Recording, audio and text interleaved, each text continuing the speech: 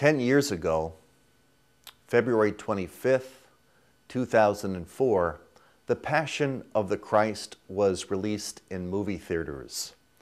And we know of the very deep impact the movie has had.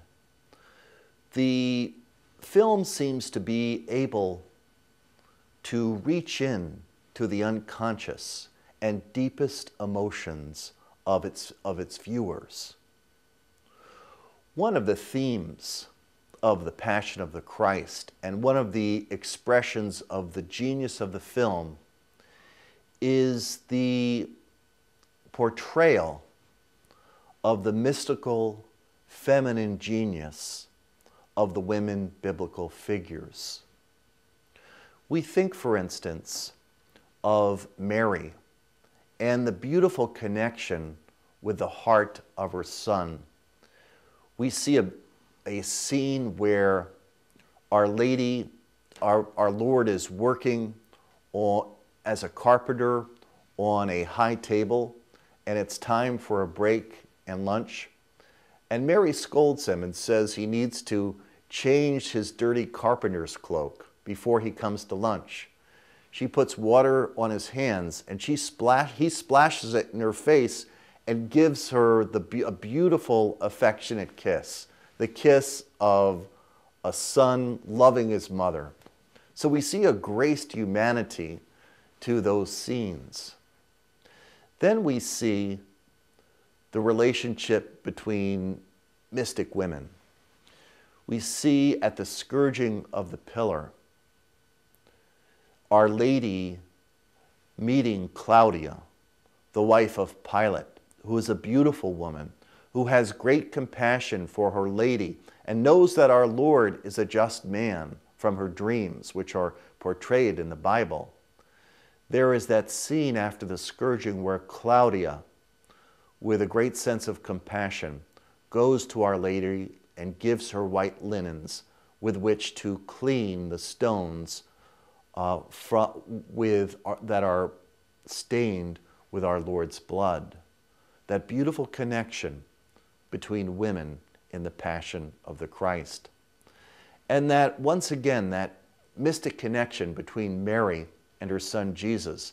That scene where the film director is able to capture Our Lady laying on pavement, sensing the suffering of her son, who is right below her in, on the next floor, in chains, suffering, imprisoned, her intuitive sense that he is there and her presence with him. We see on the way of the cross that moment where our Lord falls on the ground with the weight of the cross. And suddenly, Our Lady rushes to him. And they have this incredible face to face encounter.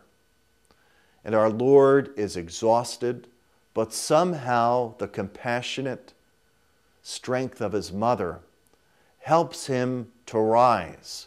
And he says those words from the book of Revelation Behold, I make all things new.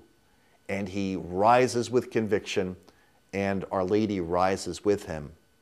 The camera does this in slow motion, and it's set up as almost a Caravaggio esque painting in its power.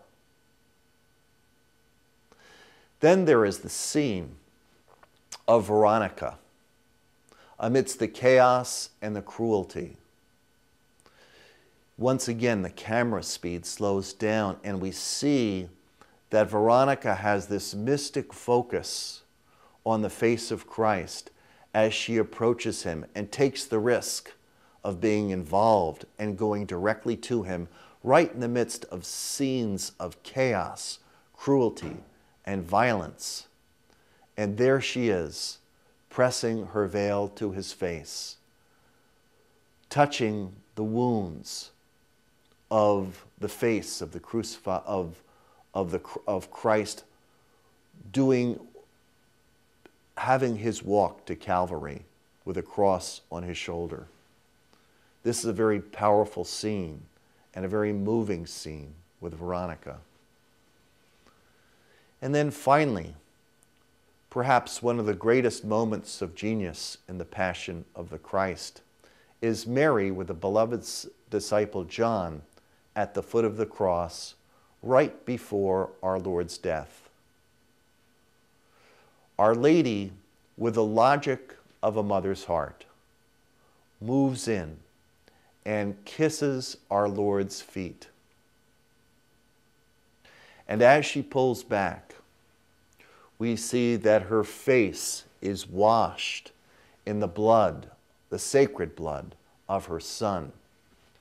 It is such a powerful moment which captures so beautifully the love of a mother for a son, the loyalty of Our Lady to her Son on the cross, and the fact that Our Lady is the model disciple and that she is with us as we carry every cross and crisis in our lives.